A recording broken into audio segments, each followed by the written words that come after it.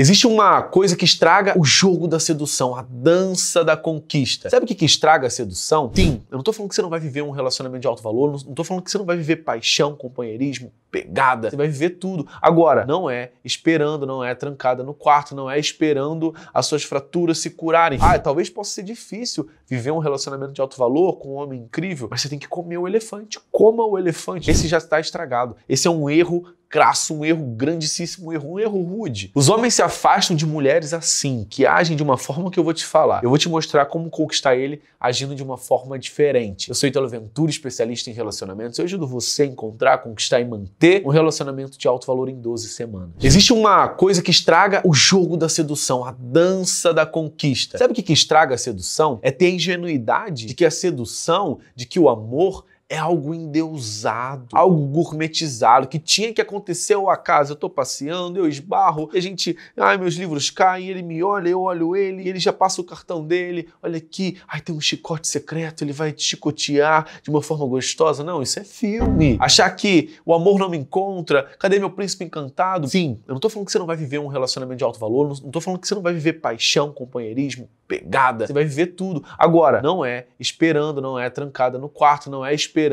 as suas fraturas se curarem, não é esperando alguém te valorizar. Isso é proativo, isso é ação. Amor é um movimento para frente, não é um movimento para trás. Ai, meu ex, ai, isso, eu tô, eu tô estagnada. Também não é um movimento estagnado, porque tudo que está estagnado está morrendo. É um movimento para frente. Você melhora aquilo que é bom. Inclusive, isso nunca para. Pensa no amor como um jardim. O mais bonito que esteja seu jardim, digamos que esteja num relacionamento, esse relacionamento está incrível. Se você não cuidar, vai nascer ervas daninhas, as flores vão ficar ruins, vai ter pragas e um monte de coisa. Então, é um, é um cuidado eterno, ad eterno. Parece bonito falar, o amor me encontra, eu encontrei. Existem sim pessoas que ganham na loteria. Só que esse não é o o fato, não é a estratégia, não é a estatística. Você quer fazer parte da exceção ou da regra? Seja proativa. O Robert Greene ele fala, né, que falar isso, ah, o amor que deveria me encontrar, ai que preguiça do amor, é na verdade um disfarce para a preguiça que você tem. E como diria, citando Benjamin Franklin, a preguiça anda tão devagar que a miséria alcança.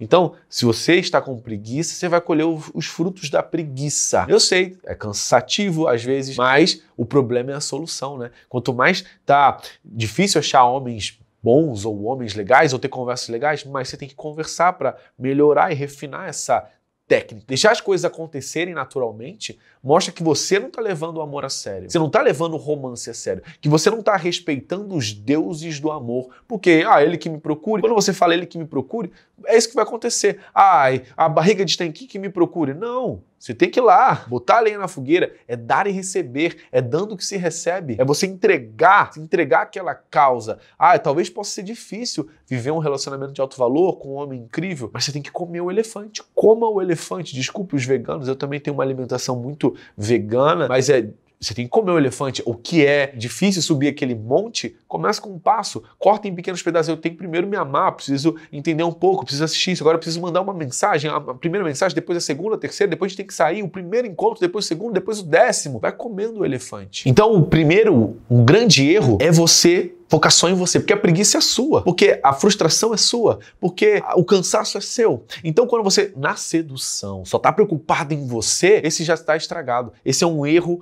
crasso, um erro grandíssimo, um erro, um erro rude. O que seduz alguém, escuta essa, arma de casa nova, grandes sedutores da história, é a nossa devoção, com aspas, aos interesses de uma pessoa. Essa é a arma de casa nova. É a minha preocupação com você. Nossa, você tá bem? Nossa, você tá com uma carinha. Você quer falar alguma coisa? Cara, que legal isso que você faz. Nossa, conta mais sobre a sua infância. Os sedutores de verdade, tipo Casa Nova, ele não olha pro próprio umbigo. Ai, eu tô cansado. Eu quero um relacionamento sério. Os homens de hoje em dia. Ai, meu Deus, quanto trabalho para conquistar um homem. Ele não olha pro próprio umbigo eles olham os interesses dos outros. Eles olham para fora e não para dentro. Porque seduzir é focar no que o outro quer, entregar o que ele precisa. Primeira atitude de um sedutor, uma sedutora, é ver o mundo com os olhos das outras pessoas, entrar na pele dela. O que essa pessoa quer nesse momento? Ela quer segurança? Ela quer variedade? Ela quer significância? Digamos, sei lá, uma, um cara que estava casado há 10 anos e agora ele está solteiro há dois meses. Será que esse cara quer? Ele quer textão? Ele quer cobrança? Ou será que ele quer leveza? Ele quer. Qual, qual, é a isca que vai atrair ele? Entende? Agora, um cara que, sei lá, tá vivendo uma situação onde ele tá frustrado, ele tá cansado, ele tá percorrendo um sucesso, é uma outra isca que eu vou utilizar. Então é você entrar na mente dessa pessoa. E não é porque, ai, que trabalho para conquistar ele. Não, é, é, é para você. Se você que quer conquistar, não é? Então a primeira atitude, anota aí, de um sedutor, de uma sedutora, é ver o mundo com os olhos dos outros, entrar na pele da outra pessoa, vestir, calçar o sapato sapatos dos outros. Começa a imaginar. Começa a ser igual a essa pessoa. O que, que essa pessoa está buscando? Por que será que aquele casamento não deu certo? Por que será que essa pessoa está solteira até agora? São perguntas que você deve se fazer para seduzir alguém, para desviar ela do caminho. Afinal de contas, seduzir é desviar do caminho. Em latim, seduzir significa desviar você do seu caminho. Eu tinha que ir para lá e agora eu vou te levar para outro lugar. Agora, presta atenção: para eu desviar alguém do caminho, eu preciso saber qual o caminho que eu quero levar ela aqui internamente. Ah, eu vou desviar para cá? Não, eu quero desviar mais para lá, porque acaba você acaba desviando para o lado errado ou pior, você acaba indo caminhar com a outra pessoa. Mas vale a pena. Não é para preguiçosos e preguiçosas, tá bom? E esse é o primeiro elemento tático nessa guerra de sedução. E esse é o primeiro elemento básico dessa técnica de dominação, né? De penetrar o, o ambiente, o território alheio. Sabe quem é a maior sedutora do mundo? É a Disney, acredite se quiser. O que, que acontece? Sedutores são